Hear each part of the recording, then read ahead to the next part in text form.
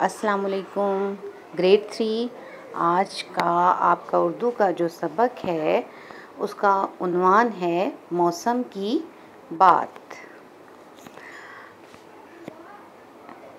ये देखिए, मौसम की सॉरी बच्चों, एक मिनट। मौसम की बात। इसके ख़ास अल्फाज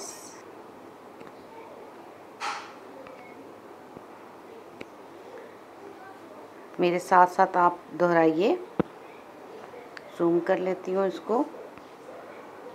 बरसात। बरसात का क्या मतलब होता है? बारिश का मौसम। बेअलिफ बा रे, शीन, रिश। बारिश का मीम वमो सीन, मीन, सम। बारिश का मौसम।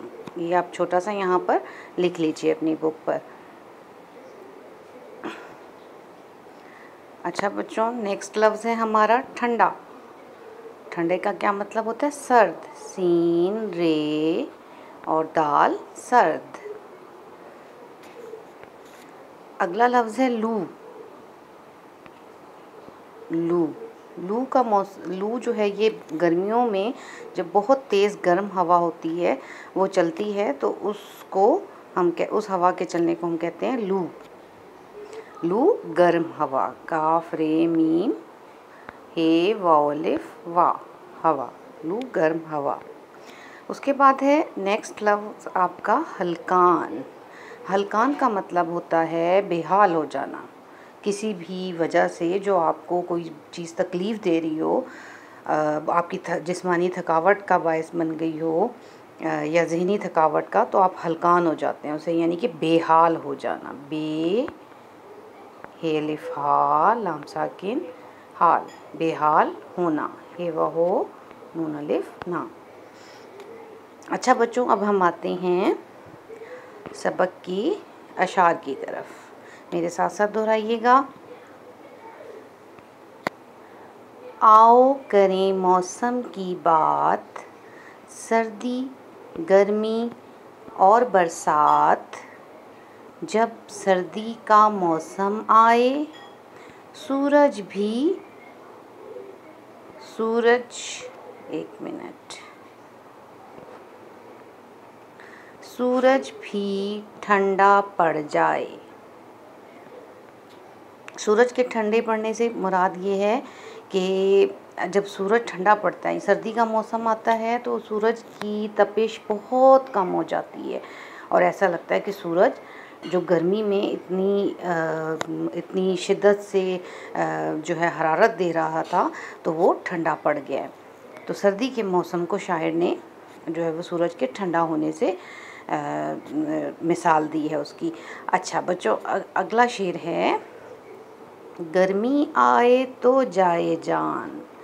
जब गर्मी, आजकल गर्मी का ही मौसम है तो देखें, जब गर्मी आती है तो फिर गर्मी से इंसान बेहाल हो जाता है और ऐसे लगता है जान निकल जाएगी। अगर हम पंखे में ना बैठें, अगर हम हवा वाली जगह पे, घर में किसी सायादार जगह पर ना बैठें एसी में ना बैठें फ़ैन ना चलाएँ तो फिर हमारा, हम बहुत बेहाल हो जाते हैं।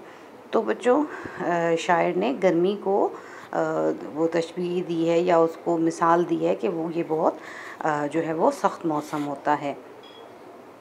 आगे देखें, लू से,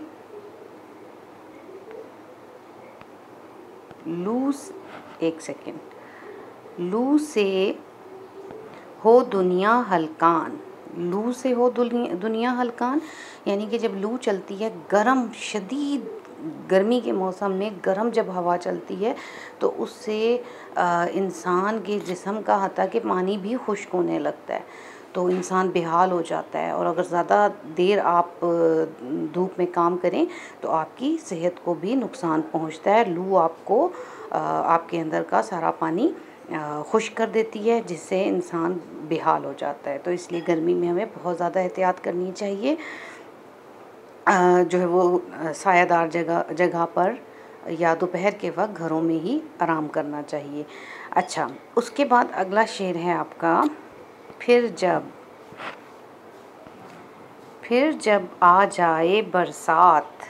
शायर कहता है कि शदीद गर्मी का मौसम, जो इंसान को बेहाल किए हुए था लू का मौसम और सब जानवर या इंसान सायादार दरख्तों में या घरों में पनाह लिए हुए होते हैं और गर्मी से बेहाल होते हैं तो क्या होता है?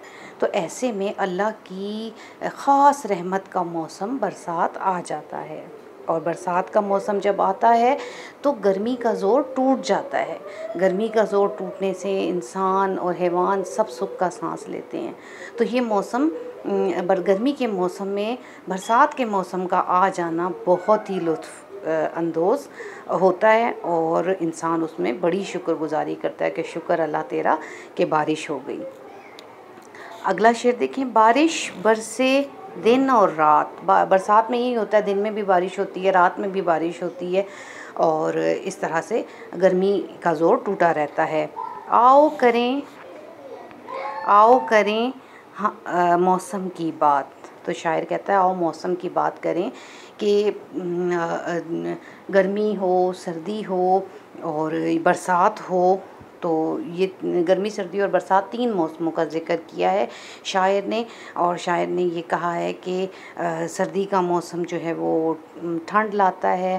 और सूरज ठंडा पड़ जाता है, सूरज की तपिश कम हो जाती है और गर्मी में इंसान गर्मी से, लू से बेहाल हो जाता है गर्म हवाओं से और ऐसे में बरसात का मौसम किसी रहमत से कम नहीं।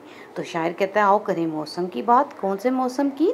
सर्दी, गर्मी और बरसात। नीचे आप देखें, इसके शायर हैं। सरशार सिद्दीकी। ठीक है?